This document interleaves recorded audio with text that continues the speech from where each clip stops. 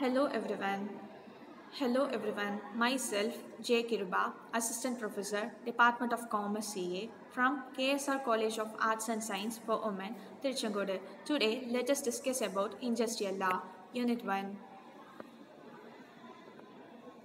What is Factories Act 1948?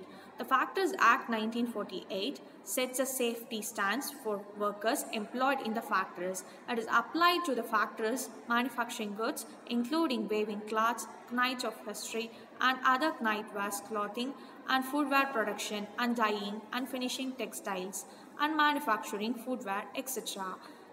Health according to the Factories Act 1948. According to this act, all the factories must keep the clean and all essential safeguards must be taken to safeguard the health of working workers.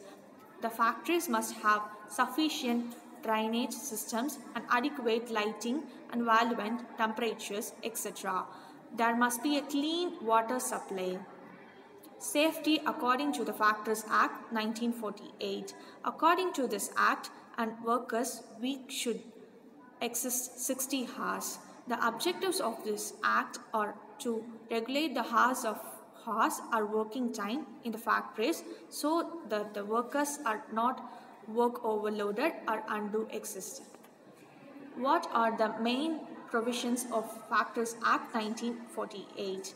The Factories Act 1948 is more comprehensive than the Provision Act, focus mainly on the health, safety and welfare of workers inside the factories and working hours and minimum age of age to work and leave with the pay, etc.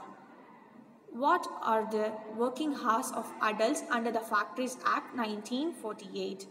Working hours on adult workers should not work more than 48 hours in a week, should get only full one full holiday in a week. A woman worker should not be allowed to work beyond 10 pm and before 6 am. No child under the age of 14 should be allowed to work in any factory.